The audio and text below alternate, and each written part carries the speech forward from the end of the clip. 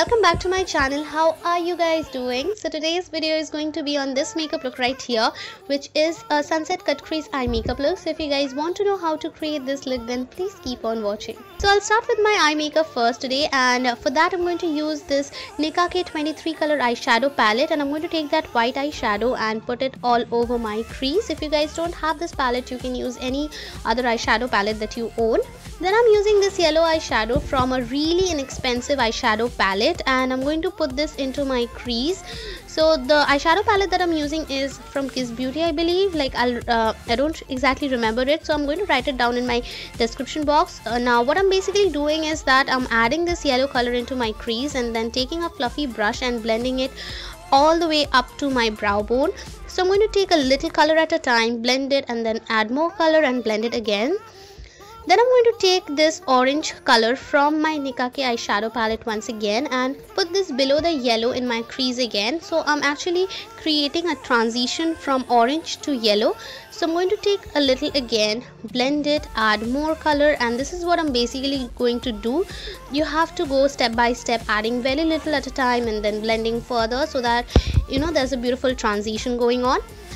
Then I'm taking this red and adding it below the orange. So I'm going to create a transition from the red to orange to yellow.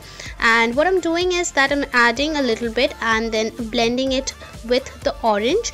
And then I'm going to add a little bit more and I'm going to intensify the red. But at the same time, I'll make sure that all the three colors are visible so that the yellow orange and the red is visible and so that there is a beautiful transition just the way we generally see in the evening sky when there is a sunset.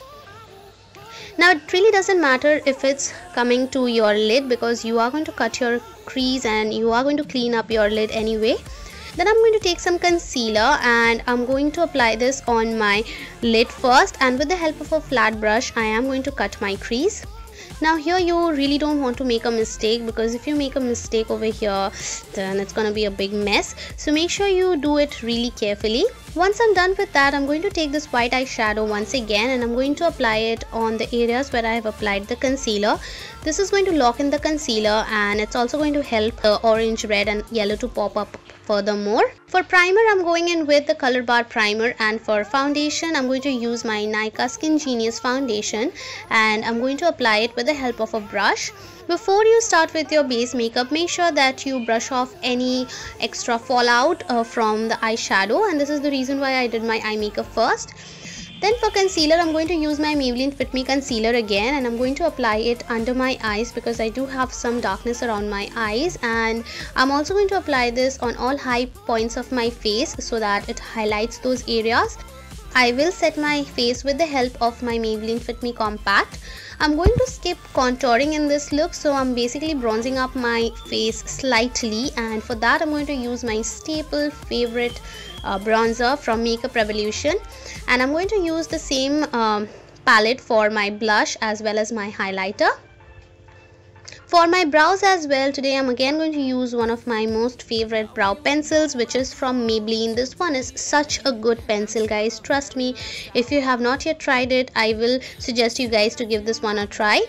For eyeliner, I'm going to use my Wet n Wild Pro Line eyeliner and this one makes it really easy to apply your eyeliner and I'm basically just drawing a wing.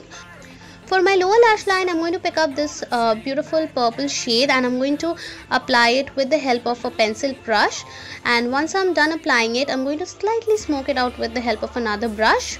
For my waterline, I'm going in with this white eye pencil from NYX. And then for mascara, I'm going to use the Essence Plump Up Mascara. And I'm also going to apply falsies off camera. Lastly for my lips I'm going to use this lipstick from Coloressence which is in the shade Nude Suede.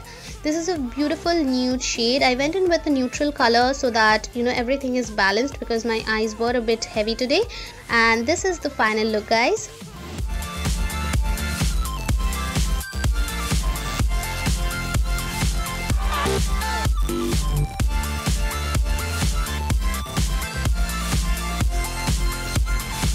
So that's it for today's video. If you like this video then don't forget to give it a like. Don't forget to share this video with your friends and of course don't forget to subscribe to my channel. I will see you guys again in my next video. Till then take care.